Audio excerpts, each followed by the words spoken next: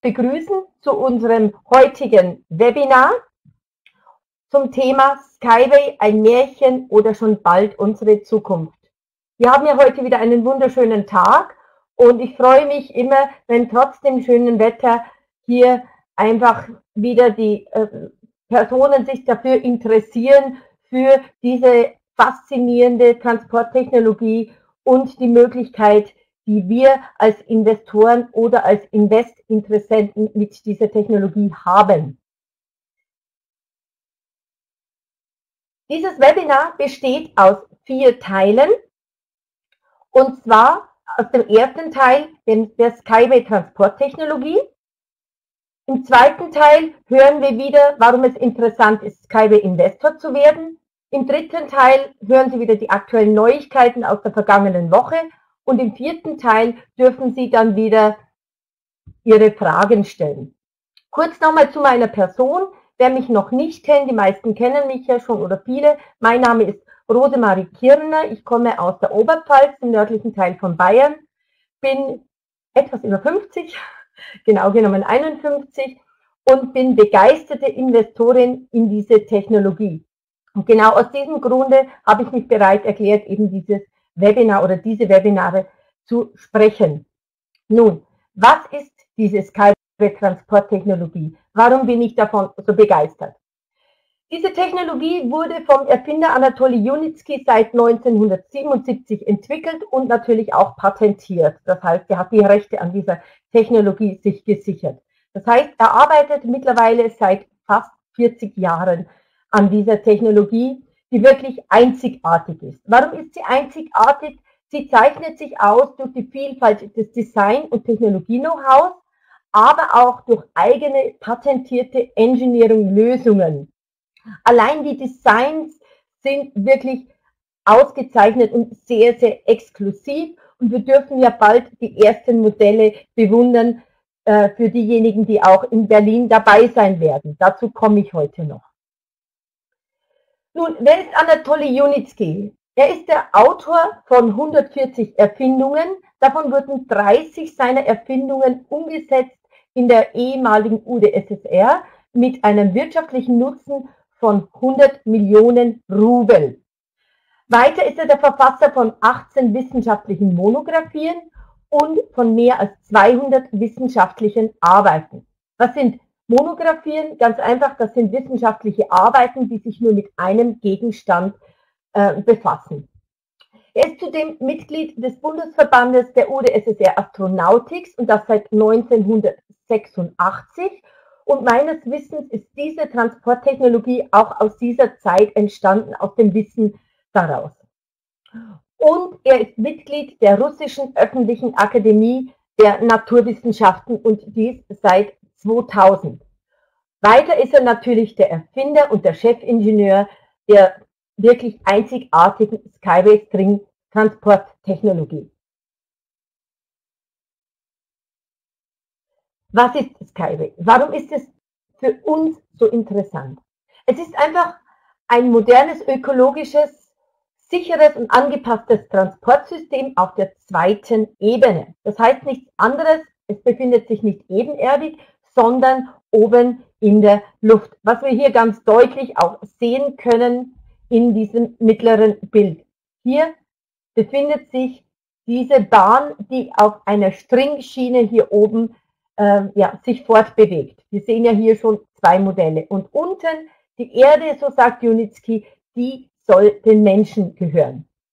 Diese Stringstruktur bietet zudem noch hochinteressante Möglichkeiten der multiplen Nutzung. Das heißt, man kann hier Strom, Internet oder weitere für die Infrastruktur notwendige ja, Leitungen mit integrieren in diese Bahnen hier. Das Interessante ist auch, was man hier schön sehen kann, man kann diese Schiene nicht nur einfach nutzen, sondern mit einer Hochbahn und zugleich mit einer Hängebahn fahren lassen. Also nicht wie bei der Eisenbahn, ich habe hier eine Bahn und die fährt und keine andere Bahn kann fahren, sondern die können hier erstens mal, wie man vielleicht auch schön gesehen hat, am Anfang in den Videos hintereinander fahren, aber man kann zugleich auch eine Hänge und eine Hochbahn gleichzeitig nutzen. Das ist wirklich etwas, das es bisher in dieser Form noch nie gab. Warum brauchen wir diese Technologie? Wir haben doch schon so viele Transportmöglichkeiten. Es gibt die Eisenbahn, es gibt das Flugzeug, die Schiffe, die Autos und so weiter. Aber hier in diesem Bild kann man schon ganz deutlich erkennen, was die Vorzüge sind. Einerseits der ökologische Aspekt. Das heißt, wir haben eine wesentliche Schadstoffemissionreduzierung, weil sich das Ganze eben hier oben bewegt und wenig Energie benötigt und somit auch keine äh, Abgase abgibt. Das Ganze wird auch elektrisch betrieben. Zudem, das werden wir heute noch näher hören, sehr, sehr wenig Energie wird überhaupt für die Fortbewegung benötigt. Hier unten sehen wir das krasse Gegenteil, die Autos, die richtig schön hier Dampf ablassen, wenn wir das mal so nennen wollen. Zudem kommt der ökologische äh, Aspekt, dass wir wenig Verbau haben. Wir haben hier nur diese kleinen Pfosten, ab und zu einen Ankerpfeiler, werden wir später noch sehen, was das ist. Aber ansonsten wenig Platzbedarf, um diese Schienenkonstruktion überhaupt zu bauen. Dazu kommt, wir haben einen sehr, sehr geringen Materialbedarf. Auch das ist ja maßgeblich und sichert uns einfach, dass wir nicht hier unnötig Rohstoffe verbrauchen. Zudem kommt, dass wir ein hohes Maß an Sicherheit haben. Einerseits, weil es sich auf der zweiten Ebene bewegt, andererseits durch ein spezielles Sicherheitssystem, von dem wir gleich noch hören werden. Hier schließen wir schon mal die Kollisionsgefahr aus mit weiteren Fahrzeugen, mit Fußgängern, ähm, wie es ähnlich zum Beispiel bei einer Straßenbahn da hätte man immer das Problem, dass man hier irgendwie kollidieren könnte mit Fahrrädern, Fußgängern, Autos und so weiter. Haben wir alles, hier alles nicht, weil sich das eben auf der zweiten Ebene bewegt. Zusätzlich haben wir einen sehr geringen Transportpreis, kommt einfach durch die niedrigen Kosten erstens mal für die Errichtung schon und zweitens mal natürlich durch den sehr, sehr geringen Bedarf an Energie für die Fortbewegung. Zudem kann sich diese Bahn sehr, sehr schnell fortbewegen im Stadtverkehr bis 150 Stundenkilometer, außerhalb sogar mit fast Fluggeschwindigkeit bis zu 500 Stundenkilometern.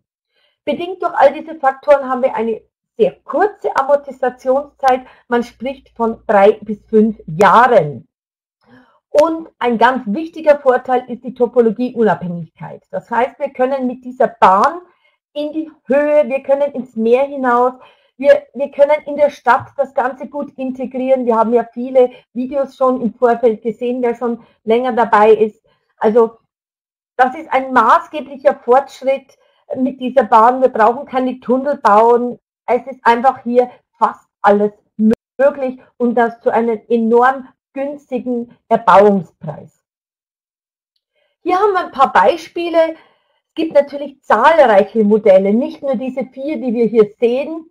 Es gibt viele, viele verschiedene Größen der einzelnen Modelle. Ich beginne jetzt mal rechts unten mit dem Unibike. Das Unibike wird auch auf der Messe zu sehen sein. Moment.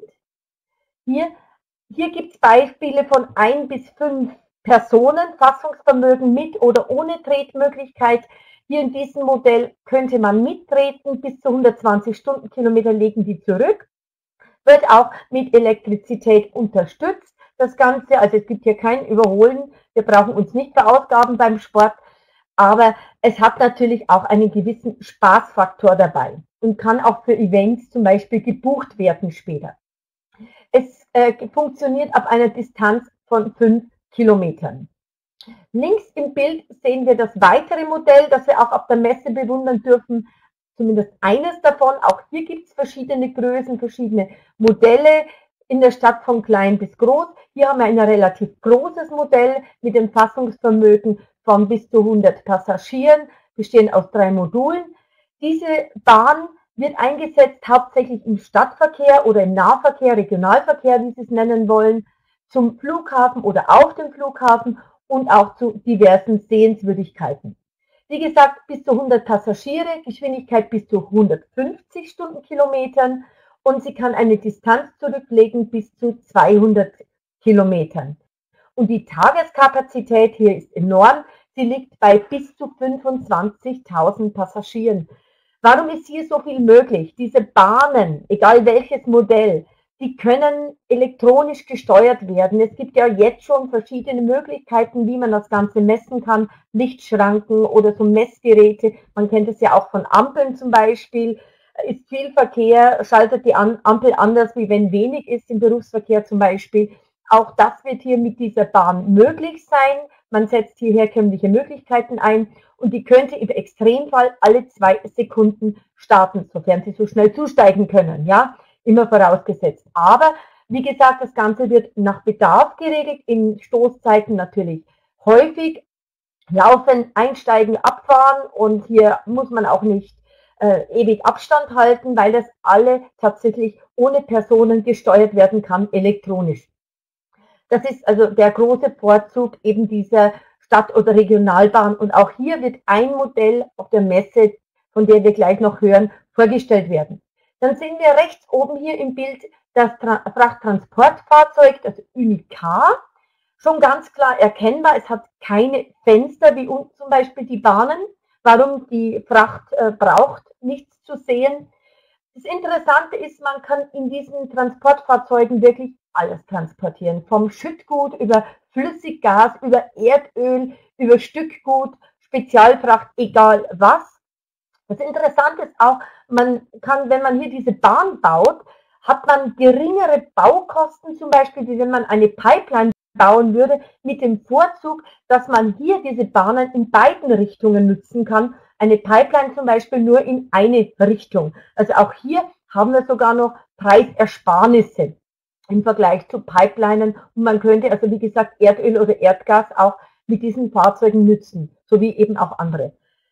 Und äh, dieses Fahrzeug würde zum Beispiel vom Fassungsvermögen 20.000 Tonnen beinhalten. Das heißt, es sind ungefähr 10 Lkw-Ladungen. Also auch das schon sehr interessant, wenn man hier für ein Fahrzeug 10 LKWs von der Straße wegbrächte.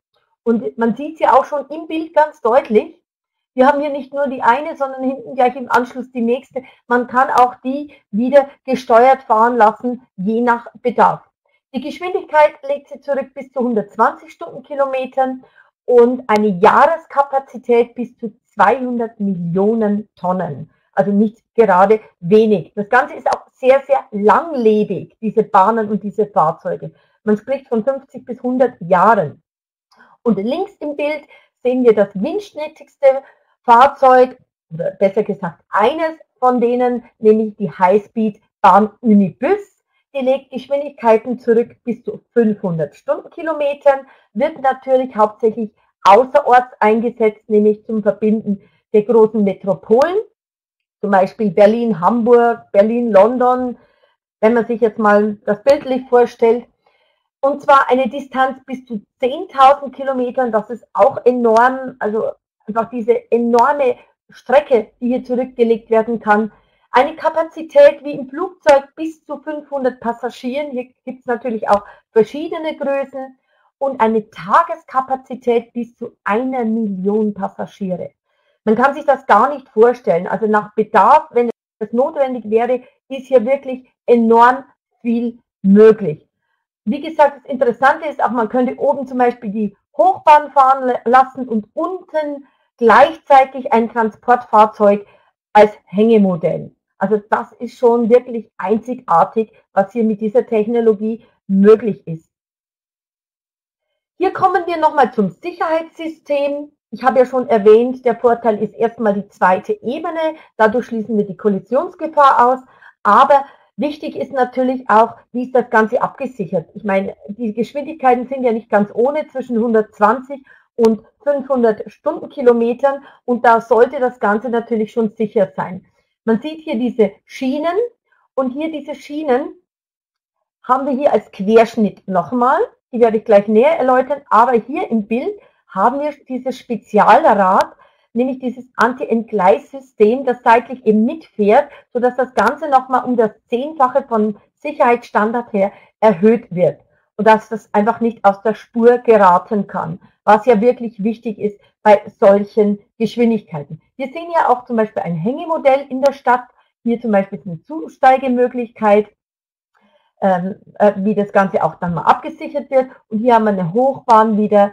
So könnte das zum Beispiel in der Stadt aussehen. meiner Meinung nach sehr idyllisch, sehr beruhigend irgendwie.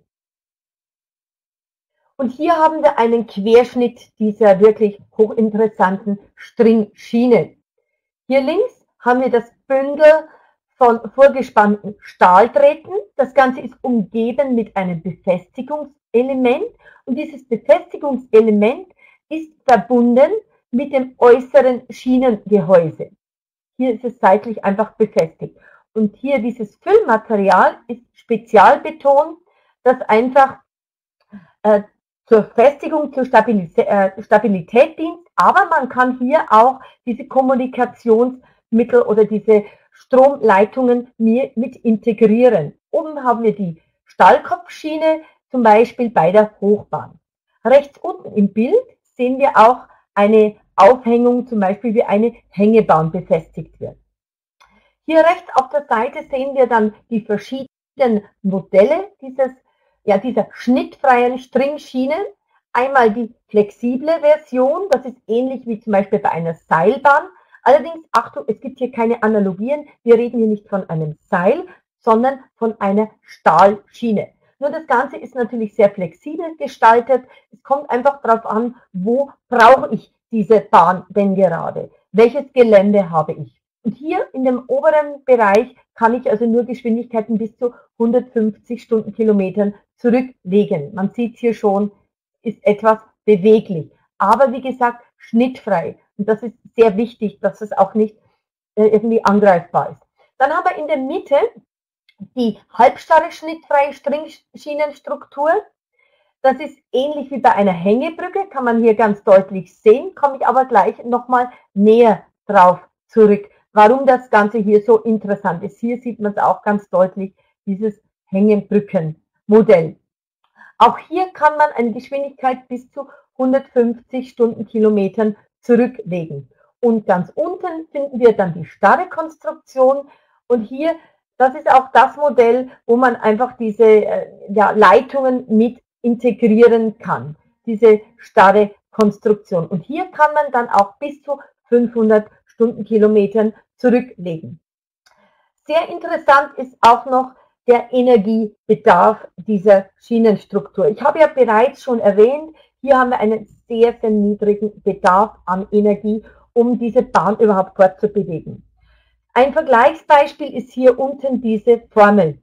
Wir haben hier, wenn man zum Beispiel eine Pneumatiktechnologie verwenden würde, LKW zum Beispiel fährt auf Luftreifen, Autos fahren auch auf Luftreifen, Pneumatik ist nichts anderes wie die Luftreifentechnologie dann würde man, wenn man 4500 Kilogramm, Entschuldigung, 5000 Kilogramm fortbewegen wollte, mit einer Geschwindigkeit von 450 Stundenkilometern bräuchte man bei dieser Luftreifentechnologie genau 1100 Kilowatt Energiestrom.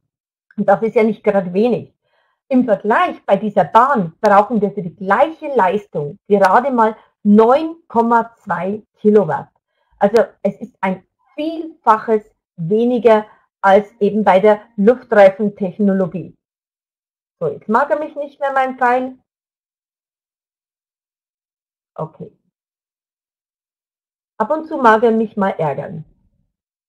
So, hier wie gesagt 9,2 bei der Schiene, 1100 Kilowatt bräuchte man bei einer Luftreifentechnologie bei 450 Stundenkilometern.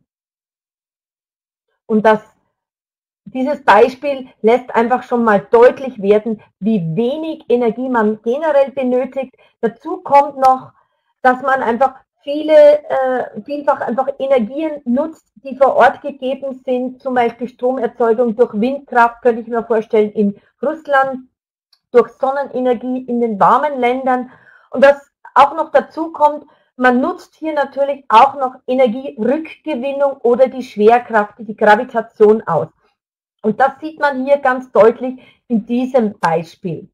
Hat mich total fasziniert. Ich bin zwar eine Frau, aber ich hab's damit, mit der Technik.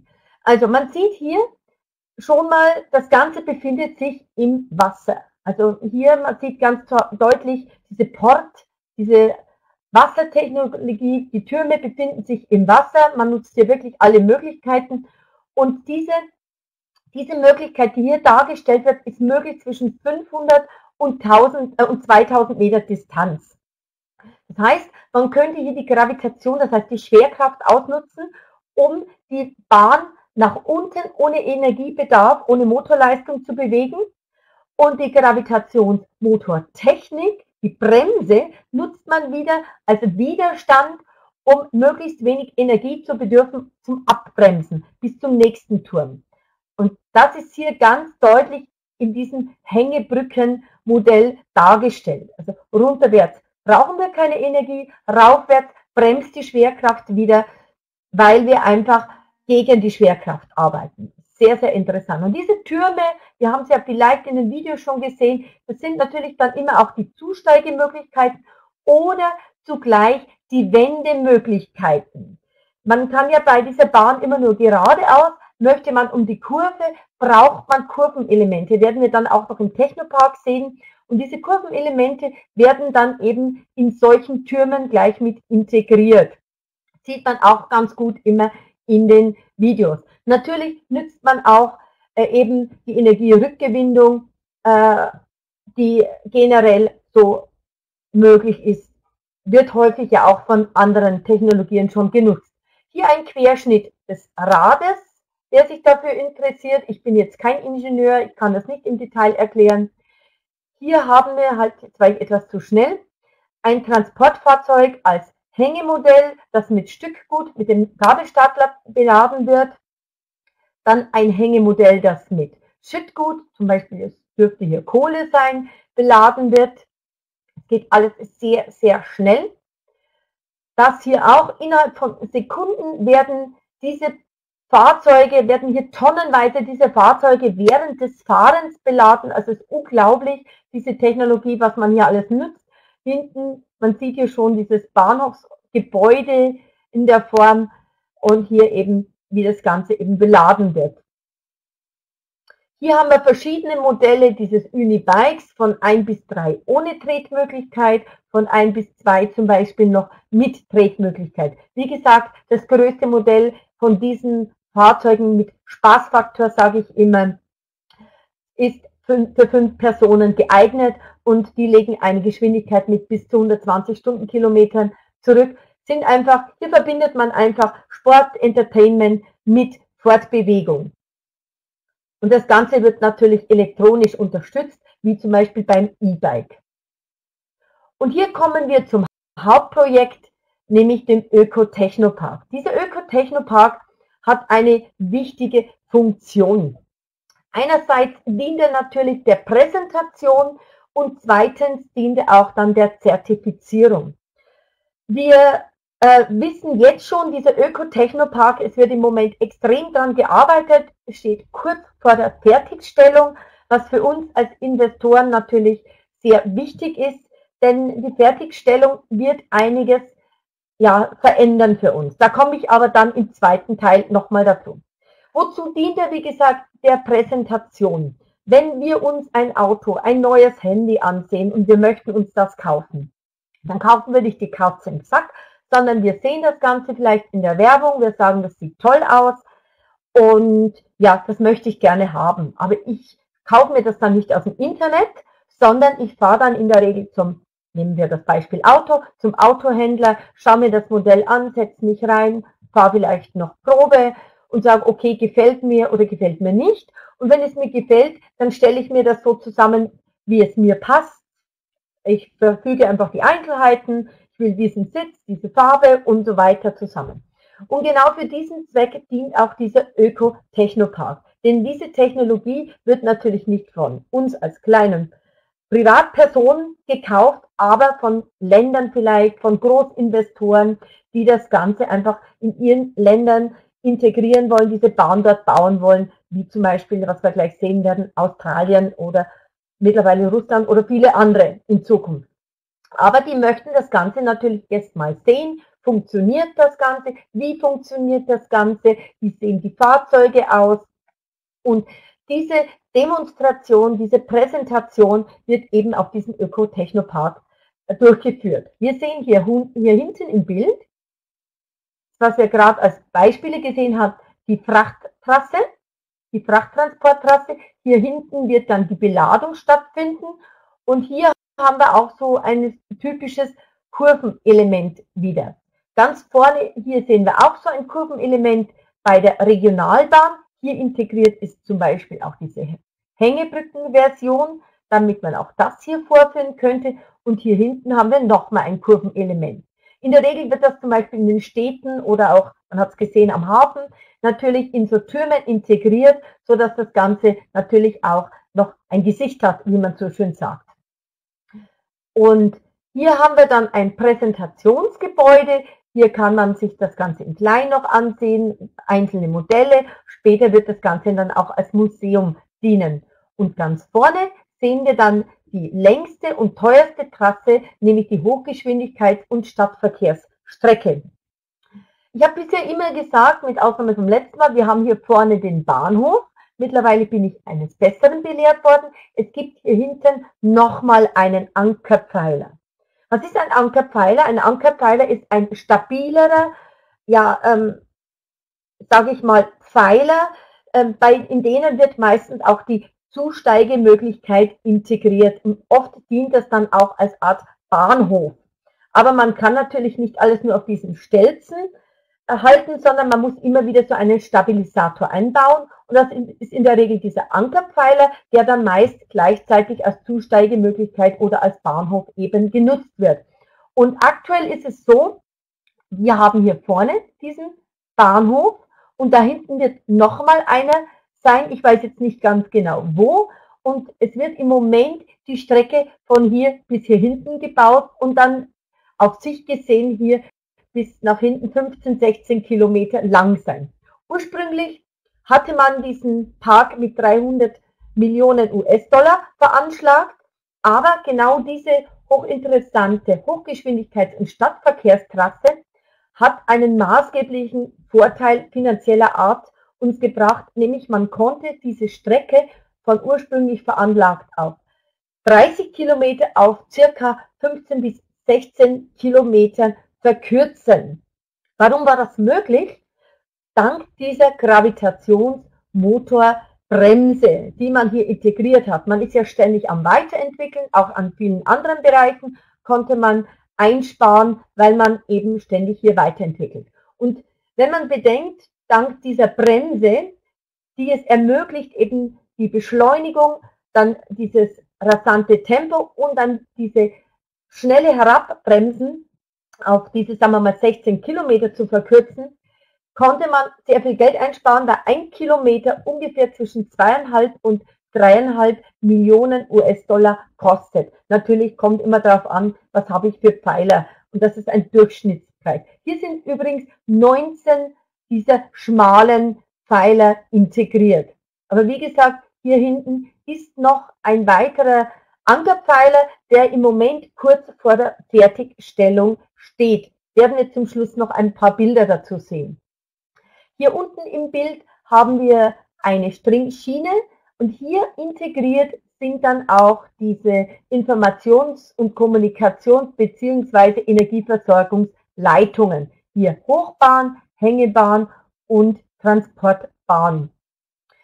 Wie gesagt, das Ganze hier, diese, dieser Ökopark, der auch natürlich der Zertifizierung Zertifizierung braucht ein gutes Unternehmen, um einfach eine Wertsteigerung zu erreichen, um nachzuweisen, dass einfach alles passt, was sie oder beweisen, ähm, was, was sie einfach auch uns versprechen. Dieser Park steht in der Nähe von Minsk in Mariana Horka und Minsk hat man ganz bewusst gewählt, das ist in Weißrussland, weil dort das Ganze äh, von der Verkehrsanbindung sehr günstig ist.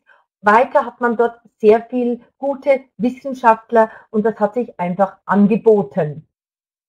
Und in dieses Projekt fließen derzeit auch die Investorengelder von uns. Wichtig ist aber für uns, wenn dieser Park hier fertiggestellt ist, und eingeweiht kann es sein, dass wir, dass der große Kuchen für uns dann als Privatinvestoren vielleicht nicht mehr möglich ist.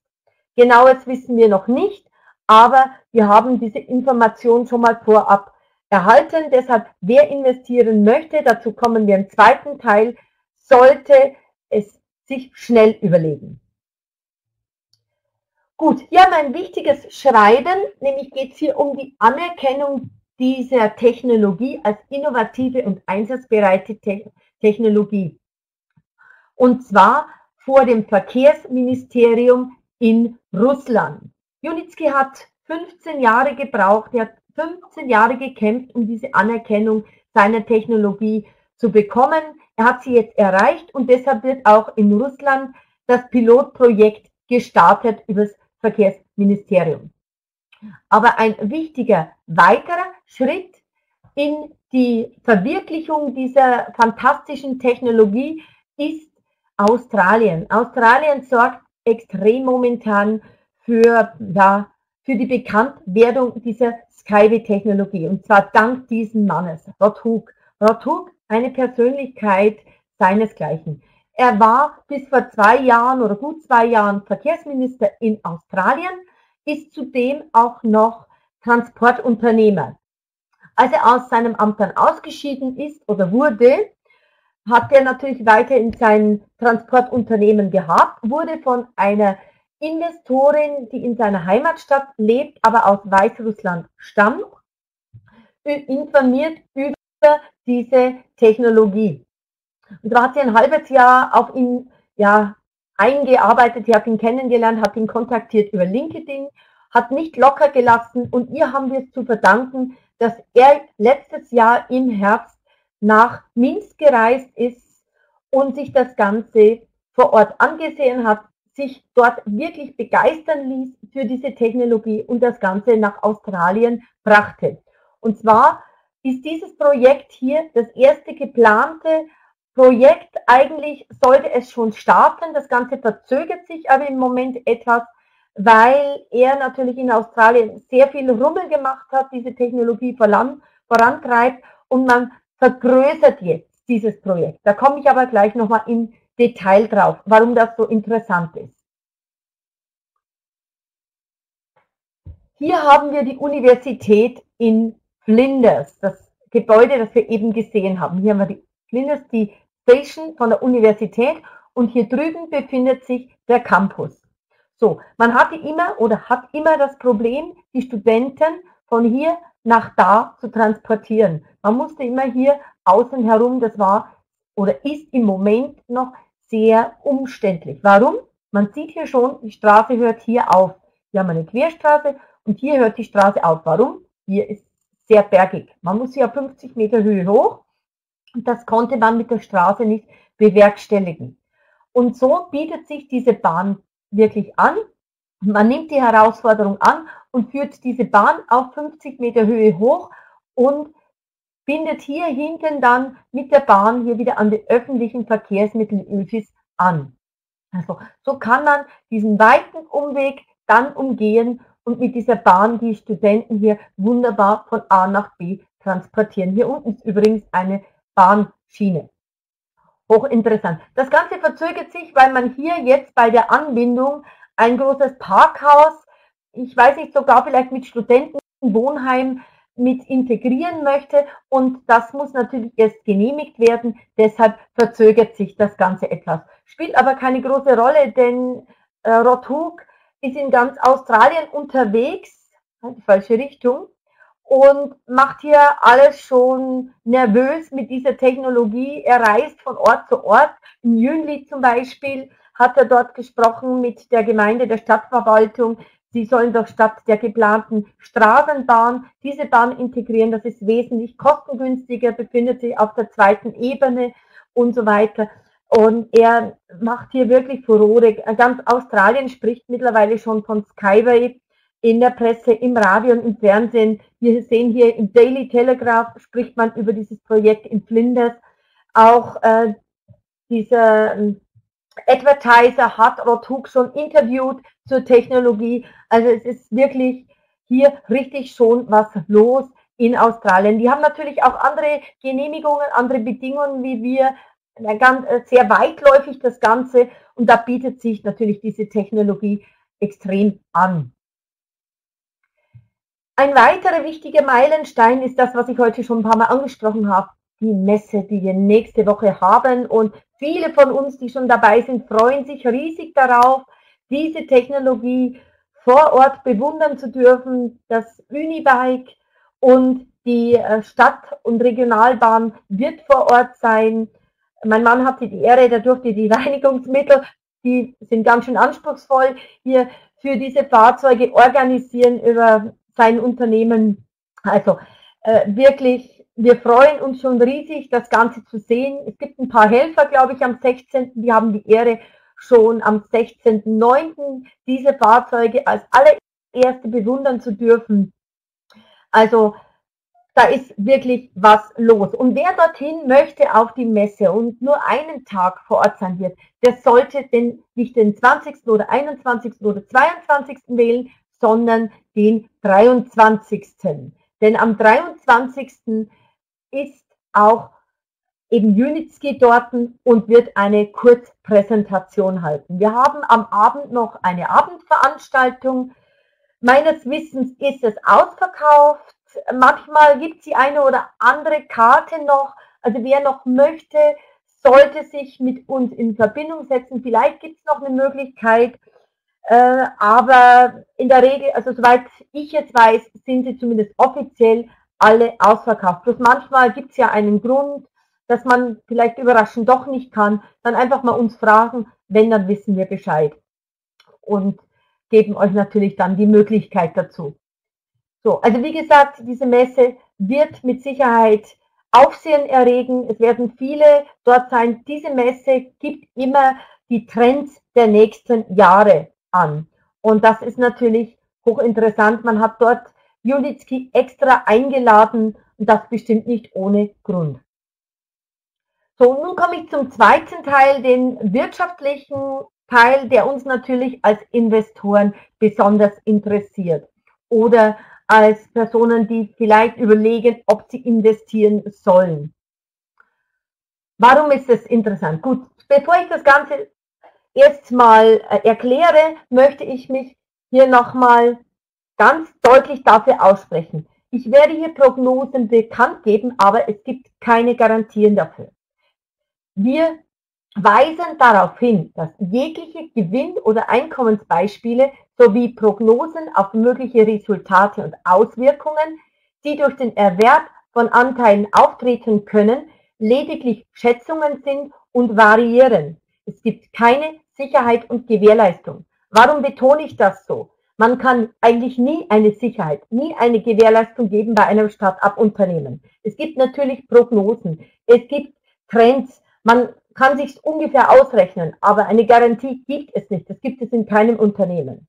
Nur es passiert einfach immer wieder, dass der eine oder andere uns dann beim Wort nimmt und deshalb müssen wir hier diesen Passus besonders betonen. Gut, warum ist es interessant für uns Investor zu sein? Was ist so Besonderes daran?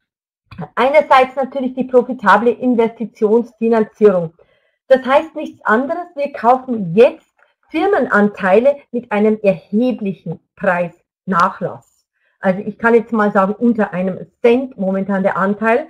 Und sobald das Unternehmen natürlich auf den Aktienmarkt eingeführt wird, das in den Bau kommt, profitieren wir natürlich von der Unternehmenskapitalisierung. Das heißt nichts anderes am Zuwachs von Kapital, vom Kapital dieses Unternehmens und damit steigt eben auch der Wert unserer Anteile oder Aktien. Ist das Ganze dann erstmal an der offiziellen Börse, dann wird das natürlich noch interessanter. Erstens mal, dann stimmen ja die Gewinne auch, dann wird auch die Aktie, der Wert steigen, aber wer schon mit Aktien zu tun hatte, der weiß auch, dass ein Unternehmen, das an der Börse ist, jedes Jahr Gewinnausschüttungen macht in Form von Dividenden. Je nachdem, wie die Gewinnlage ist, wird das entsprechend angepasst. Und auch diese Möglichkeit werden wir dann haben, sobald das Unternehmen von der geschlossenen Aktiengesellschaft an die öffentliche Börse geht. Das wird aber noch ein bisschen dauern. Man spricht zwar davon von, sage jetzt mal 2018, aber da legen Sie mich bitte nicht fest, weil man sagt ganz klar, man geht diesen Schritt erst, wenn einfach die Gewinne stimmen und das ist ja auch sinnvoll, damit nicht der Wert gleich wieder nach unten geht. Wichtig ist das geistige Eigentum auch, das heißt, man spricht hier von den Patenten. Diese Patente wurden von externen äh, Wissenschaftlern oder äh, ich sage jetzt mal Experten in England wurde das Ganze geschätzt und zwar auf einen Wert, einen Marktwert von 400 Milliarden Dollar. Und von diesen 400 Milliarden Dollar wird eben ein Teil, ungefähr 15 Prozent, vorab eben abgegeben. Da können wir uns eben einbringen. Zum Thema Kooperationsperspektive, das ist natürlich auch wichtig.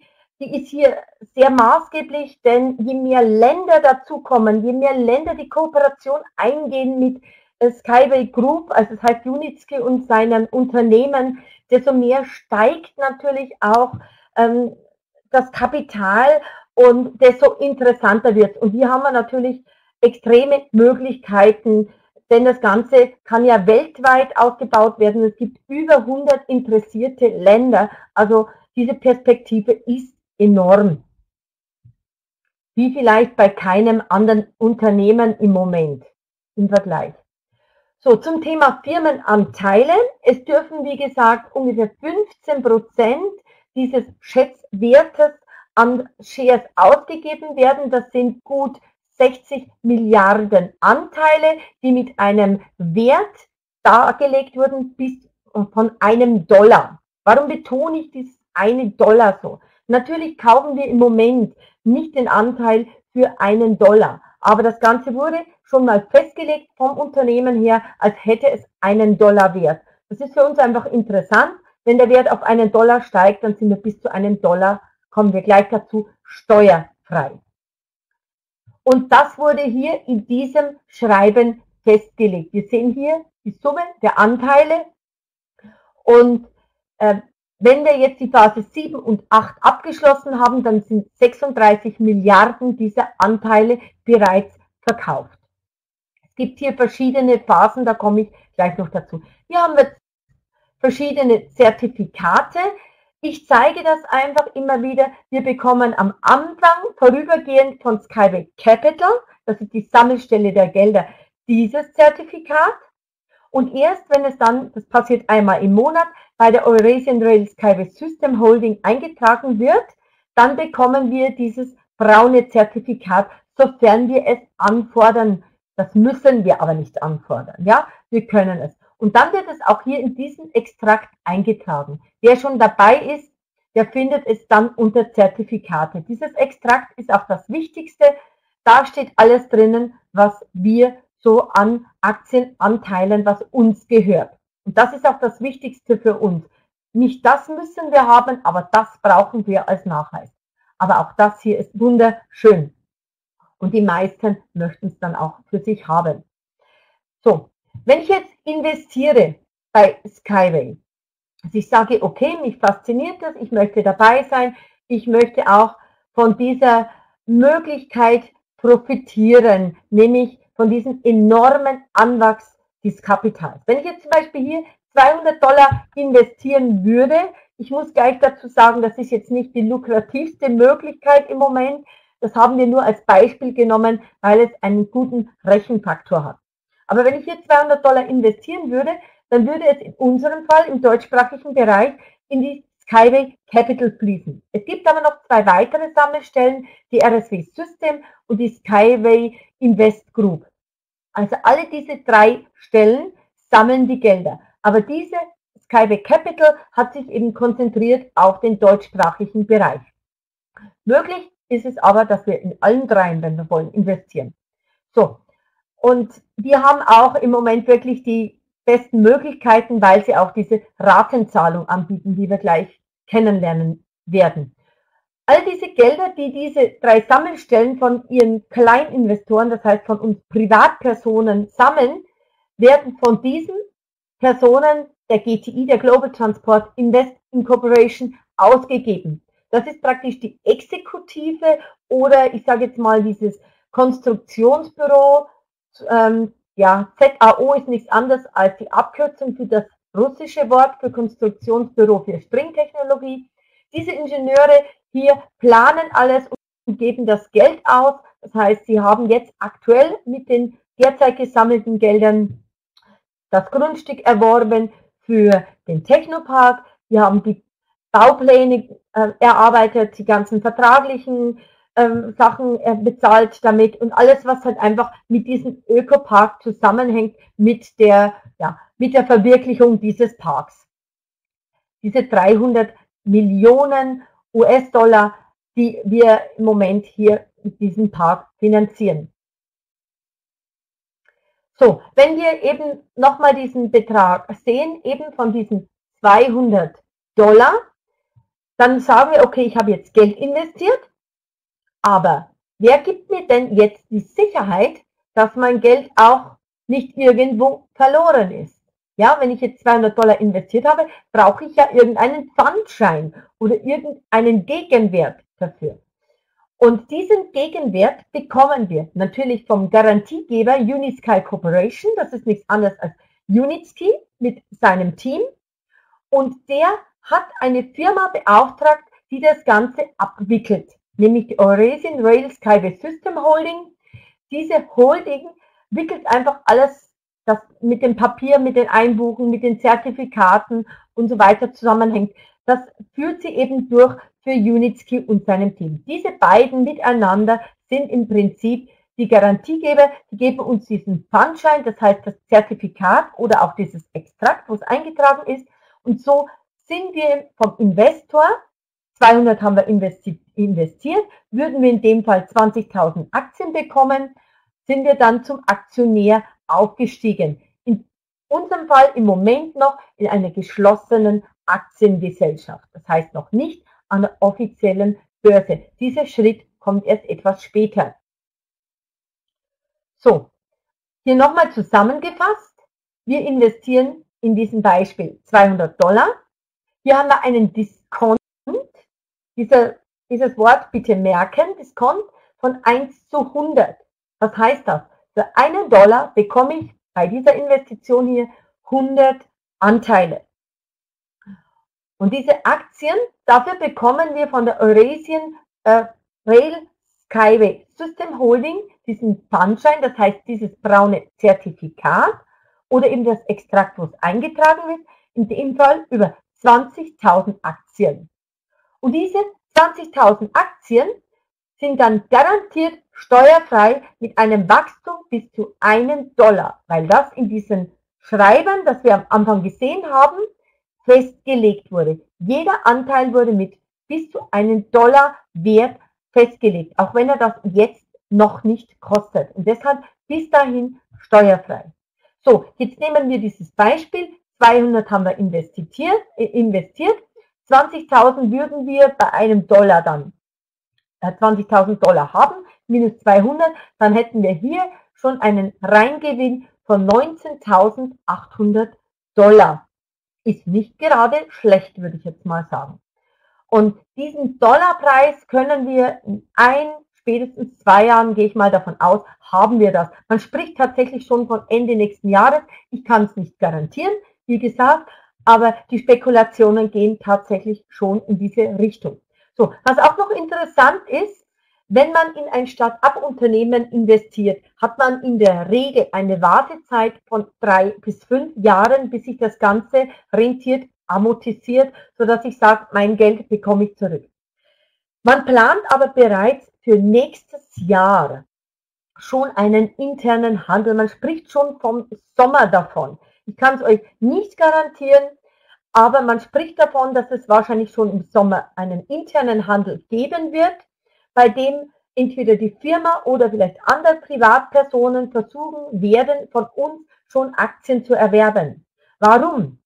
Weil man geht davon aus, dass mit Fertigstellung des Ökotechnoparkes möglicherweise es für Privatinvestoren an diesem großen weltweiten Umsatz zu profitieren schon vorbei sein wird. Man rechnet damit, dass dann die Großinvestfirmen kommen und die dann die restlichen zur Verfügung stehenden Aktien aufkaufen. Und dann können wir von denen teuer einkaufen. Also wer investieren möchte, der sollte sich jetzt überlegen. Es steht auch die nächste Preiserhöhung an, spätestens Ende September. Genaues Datum wissen wir noch nicht. Aber bitte nicht zu lange warten, dann jetzt, denn auch die Preiserhöhung wird sicherlich wieder ein, einiges an weniger an Anteilen bedeuten. Nicht vom Preis her mehr, aber wesentlich weniger Anteile. Davon können wir ausgehen, denn mit jeder Preiserhöhung, mit jedem nächsten Schritt werden es wesentlich weniger Anteile sein und das ist dann, wenn man mit einem Dollar das Ganze veranlagt, richtig viel Geld. Gut, wenn ich jetzt investieren möchte, da gibt es verschiedene Möglichkeiten und das Gigantische an Skyway Capital, das bieten alle anderen nicht an, nur Skyway Capital, ist diese Möglichkeit dieser Ratenzahlungspakete. Es gibt hier zwei Kinderpakete, die speziell für Kinder gedacht sind, ein kleineres und ein größeres. Und zwar ist das für Kinder, ich zum Beispiel meine Tochter, die ist jetzt zehn, ich habe dieses linke hier erworben, Sie kann es erst mit 18 verkaufen. Ich bin, oder mein Mann besser in dem Fall, ist nur der Investor. Er hat das Ganze bezahlt und so weiter und er verwaltet es für Sie als Guardian, so nennt sich das im Englischen. Und sie kann das erst mit 18 selbst verkaufen. Wir haben hier keine Macht mehr drüber. Aber der Investor kriegt auch noch eine Kleinigkeit. In dem Fall 5000 Aktien und in dem Fall 10.000 für seine Arbeit, dass er das Ganze macht. Gut, also das sind die Kinderpakete und das sind jetzt die klassischen Ratenzahlungspakete. Das beginnt von 25 Dollar bis 200 Dollar im Monat. Hier sind es insgesamt dann 250, hier 400, hier 1000 und hier 1800. Und wenn man jeweils eine Doppelrate bezahlt, am besten gleich im ersten Monat, dann kann man es nicht vergessen, bekommt man hier noch Zusatzanteile, in dem Fall 9000, hier 21.000 bis hier unten 144.000. Also ist hochinteressant. Und hier haben wir zum Beispiel einen Diskont, den Begriff haben wir heute schon gehört, 1 zu 100, hier von 1 zu 141, hier, hier ist irgendwo 1 zu 200 und hier 1 zu 235 und hier 1 zu 305. Also man merkt, je mehr man investiert, desto mehr Anteile bekommt man für den einzelnen Dollar. Und hier unten wird natürlich dann, sind die größeren Pakete noch lukrativer. Hier haben wir zum Beispiel 1 zu 325. Und wir sehen hier dann auch noch die ganz großen Pakete, hier 5.000, 10.000 bis 50.000. Man sieht hier schon, der Diskont wird entsprechend immer höher. Hier haben wir noch die Inotrans-Pakete. Ich muss jetzt ehrlich sagen, ich weiß jetzt gar nicht, ob die im Moment noch erwerbbar sind. Äh, wahrscheinlich ja bis zur Messe.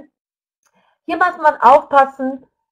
Das erste, okay, 235.000, das könnte man auch auf Ratenzahlung machen. Möchte man noch zur Innotrans, hat es den Vorteil, weil man hier den Eintritt für die Innotrans noch integriert hat. Man bekommt das Geld für den Eintritt dann rückerstattet. Ist es so, dass man nicht zur Messe fährt, ist es wahrscheinlich nicht interessant dann kann man das Ratenzahlungspaket auch machen und man kann es bequem in Raten zahlen. Man darf es aber auch auf einmal bezahlen, weil wir immer wieder gefragt werden, ja, kann ich das auf einmal machen? Natürlich. Und würde man zum Beispiel hier dieses und dieses zweimal nutzen, dann sagt man, okay, hier im zweiten bekomme ich etwas mehr, dann sind es insgesamt 505.000. Muss man aufpassen, das Ratenzahlungspaket für 1800 hat mehr Anteile wie diese zwei zusammen. Also hier muss man tatsächlich sich beraten lassen von der Person, die sie hier eingeladen hat oder der Ansprechpartner ist. Und hier haben wir die einzelnen Phasen, was ist in der Vergangenheit passiert, beziehungsweise was wird in der Zukunft passieren mit den Investitionsgeldern, beziehungsweise generell mit der Entwicklung. 1978 bis 2014 war die lange Entwicklungsphase und ich sage jetzt mal die Durchsetzungsphase, dass man endlich mal in die Verwirklichung ging. 2014 begann man dann mit der Entwicklung dieses fantastischen Designs. Übrigens sagt man, würde äh, Ferrari oder äh, eben diese, diese Top-Designer das entwickeln, würde das ganze Design um das hundertfache teurer sein, als es eben hier diese Designer entwickelt haben. Hochinteressant. 2015 im Juli begann man dann mit dem Bau des Ökoparks. der jetzt kurz vor der Fertigstellung steht. Oktober, November rechnet man damit. Also bitte, das kann auch das Ende sein in das Weltprojekt Skyway. Nicht das Ende generell. Es wird weiterhin kleinere Projekte geben. Aber der große Kuchen von Skyway, das heißt die Beteiligung am Weltumsatz des Wachstums, der könnte dann vorbei sein, wenn die Großinvestoren alles aufkaufen. Das sind die Prognosen. Ich weiß es nicht, ob es tatsächlich so ist, aber wir gehen davon aus, wenn die das alles sich ansehen, dass es dann für uns Privatinvestoren vorbei sein wird. Rechnen Sie lieber damit, bevor Sie dann äh, zu spät dran sind. Und wie gesagt, Demonstration, Zertifizierung ist das nächste Thema. Die arbeiten jetzt Tag und Nacht an der Fertigstellung dieses Öko-Technoparks. Messe ist wie gesagt nächste Woche. Und ab 2017 geht es dann in die Markteinführung. Sprich, Russland wird bauen, Australien wird bauen, hier wird überall. Es gibt noch andere Projekte, die schon im Gespräch sind. Ich darf nur nicht über alles hier öffentlich sprechen. Aber diese Projekte es ist auch, kommt auch immer wieder die Frage, ja, wie ist es denn in Deutschland, in Österreich, in der Schweiz mit den Genehmigungsverfahren? Das ist doch alles so kompliziert bei uns. Ja, das ist es. Aber für uns Investoren spielt es gar keine Rolle, ob es in Deutschland, in Österreich oder in der Schweiz jetzt gleich gebaut wird. Wichtig ist, es wird gebaut. Ob das in Dubai ist, wo auch dort die Pilger äh, Bahn gebaut werden soll. Oder ob das in Australien äh, voranschreitet oder was weiß ich, in Russland. Das spielt keine Rolle. Mit jedem Bau, mit jedem Kilometer, der gebaut wird, steigt einfach der Wert unserer Anteile. Und das ist für uns entscheidend. Es kann ja sowieso nicht alles auf einmal gebaut werden. Und so müssen wir einfach dieses, diesen äh, Blick auf Deutschland, das natürlich oft ein sehr schwieriges Genehmigungsverfahren hat, einfach mal außen vor lassen. Das spielt für uns als Investoren überhaupt keine Rolle im Moment. Natürlich würde ich mich freuen, wenn lieber gestern als morgen diese Bahn gebaut wird bei uns. Aber damit rechne ich im Moment ehrlich gesagt noch nicht. Gut. Wir haben hier die einzelnen Phasen des Projektes nochmal. Das waren die vergangenen Phasen. Man sieht hier schon an den Phasen, jetzt mag er mich wieder nicht, der Pfeil. Moment.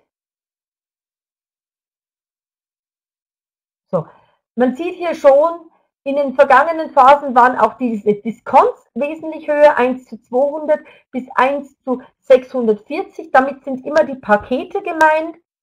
Dann später in der sechsten Phase 2015 bis Mai 2016 war 1 zu 150 bis 1 zu 500. Wir befinden uns derzeit in der Phase 7, die jetzt kurz vor der Beendigung steht. Hier wurden 7 Milliarden Anteile angeboten. Wenn die verkauft sind, beginnt die Phase 8. Und damit, das sehen wir hier schon, rechnen wir jetzt im September noch. Also, und wir sehen hier schon, was sich hier maßgeblich verändert, ist nicht der Kaufpreis, sondern der Anteilspreis. Gerade hier, hier haben wir 1 zu 150 bis 1 zu 400 und hier haben wir in der nächsten Phase 1 zu 125 bis 1 zu 300. Und es ist nun mal ein Unterschied, ob ich jetzt beispielsweise für 1000 Dollar 235.000 bekomme oder vielleicht nur noch 195.000. Davon können wir ausgehen in der nächsten Phase. Weil wenn das Ganze dann ein Dollar wert wird, dann sind es einfach 30.000 Dollar weniger, die ich dann habe. Und in diesen Phasen sehen wir zusammengefasst, werden insgesamt 36 Milliarden US-Dollar dann schon vergeben sein von diesen 60 Milliarden. Und je mehr das schon vergeben sind, desto teurer wird das Ganze natürlich. Hier sehen wir die weltweiten Sammelstellen allein von Skyway Capital. Es gibt ja, wie gesagt, auch noch weitere, nämlich die, äh, die Invest Group und die RSW, die Ursprungssammelstelle, die auch von Unitsky selber gegründet wurde. Aber wir sehen schon, hier natürlich sind wir im deutschsprachigen Bereich dabei, aber wir sind ein winziger Teil, wirklich ein winziger Teil von den Sammelstellen weltweit. Und ich kann euch versichern, allein bei mir in, in der Gruppe sind schon Investoren bis hier unten drinnen und in allen Teilen der ganzen Welt. Also wie gesagt, der deutschsprachige Bereich ist ein kleiner Bereich. Und wer sich jetzt dafür interessiert, für diese Möglichkeit, für diese einzigartige Möglichkeit, von, für, ich sage jetzt mal, unter einem Cent einzukaufen und vielleicht schon im nächsten Jahr auf einen Dollar zu kommen, das kann man sich ja gut hochrechnen, je nachdem, wie viel man investiert. Es ist einfach eine Möglichkeit, die man, glaube ich, nur einmal im Leben bekommt. Hier haben wir nochmal das Bild Ökotechnopark als Plan. Hier sieht man schon, ist dieses Gebäude noch nicht drauf auf dem Plan, aber hier diese Kurven zum Wenden, diese Transporttrasse hier hinten, hier die Regionaltrasse und hier nochmal die Schnellbahn. Aber auch hier sieht man nicht diesen zwischengesetzten Ankerpfeiler, der derzeit errichtet wird, damit man einfach im Moment gleich reagieren kann, bevor das Ganze komplett fertiggestellt ist. Wo befindet sich das Ganze? Hier Mariana Gorka in Belarus, das heißt in Weißrussland. Und hier haben wir einen sogenannten Ankerpfeiler, der auch als Bahnhof dient. Man sieht hier schon grün, das Ganze wird bepflanzt, das werden wir gleich auch noch an Bildern sehen. Und hier geht diese Stringschiene raus. Man hat in diesem Gebäude auch ein Spezialfenster, das man hier nicht sehen kann, das für den Druckausgleich benötigt wird. Hier haben wir nochmal diese Stringschiene, wie sie auch dann in dem Park gezeigt wird. Und hier dieses Gebäude wird dann dazu dienen, um einfach sich innen alles genauer anzusehen. Im Kleinformat gibt es auch diese Bahnen, diese Vorzeigebeispiele. Also das wird man hier drinnen dann alles später bewundern können. Und Minsk, man kann sich das alles ansehen. Ich habe vor kurzem, war ich bei einer lieben Kollegin, die hat mir Bilder gezeigt, sie war dort, sie war auf diesem Nullpunkt, den man so schön sehen kann, wo alles ausgeht, hat ihre Hand drauf gehalten, hat dort ihren eigenen Baum gepflanzt. Ich darf auch einen Baum pflanzen und vielleicht werde ich sogar nächstes Jahr im Frühjahr da mal hinfahren und meinen Baum dort selber pflanzen. Das mal so nebenbei bemerkt. Das Ganze ist einfach alles real und wir sehen uns jetzt im dritten Teil auch noch ein paar Bilder dazu an. Aber bevor ich zu den Bildern komme, werde ich erstmal eine andere Informationen Ihnen kurz geben, nämlich dieses hier. Es geht hier um Aurecon. Aurecon, das ist einfach eine Gruppe, die in Australien dort das Ganze vorantreibt, dort mit Minsk zusammenarbeitet, mit diesem, äh, ja, mit diesem Team in Minsk, diesen Konstruktion oder Büro dieser String-Technologie und die besprechen hier über eine Skype-Konferenz, was alles einfach so ähm, besprochen werden muss. Hier geht es um Austausch von Wissen, von Erfahrungswerten. Natürlich, wie sollen die Versuchsdurchläufe gestaltet werden? Man muss das Ganze ja abstimmen mit den australischen Standards. Der Arbeitszeitplan wird hier besprochen und die Zertifizierungsbedingungen äh, eben auf dem grünen Kontinent. Also hier, man sieht weltweit alles möglich. Skype macht es möglich. Wir praktizieren ja Skype auch untereinander derzeit ständig. Und diese Arbeitsgruppe in Australien ist einfach hier ständig in Verbindung mit unserem Team, das wir hier sehen in Weißrussland eben beim ZAO. Hier auch nochmal ein weiteres Bild. Man sieht hier schon, wie angestrengt, dass hier alle sich unterhalten. Okay, und hier dann ein paar Bilder, wie es derzeit aussieht im Ökotechnopark. Also man sieht hier schon, diese Pfeiler werden alle schon gebaut, sind schon hier ein Teil dieses Ankerpfeilers, dieses stabilen Ankerpfeilers. Es schreitet hier schon straff voran. Hier haben wir schon die Bodenplatte drauf. Hier nochmal die Bodenplatte. Hier wieder diese Oh, sieht hier schon richtig majestätisch aus. Diese Pfeiler von diesen, ja, würde ich jetzt mal stabilen Ankerpfeilen. Und hier kämpfen sich zwei Arbeiter ab mit der Verwirklichung. Also wir sehen hier alles, man kann das immer nachvollziehen. Wir posten ja auch, oder die liebe Jana macht das ja ständig auch, dass sie im Facebook immer die wichtigsten Informationen postet. Die meisten von uns bekommen das Ganze per E-Mail und sagen, oh Hilfe, das ist ja alles Russisch. Also Sie müssen sich nicht die Mühe machen. Sie dürfen natürlich das Ganze über Google Translator sich ansehen, aber die Jana sucht immer das Wichtigste raus, postet das Ganze dann in Facebook in unserer Gruppe. Wer noch nicht dabei ist, der kann sich gerne von uns aufnehmen lassen, einfach Anfrage stellen und wir nehmen sie dann gerne auf in der Gruppe. Ich bin jetzt dann soweit mit meinem Latein am Ende. Das heißt, das Wichtigste haben wir jetzt und wir kommen jetzt zur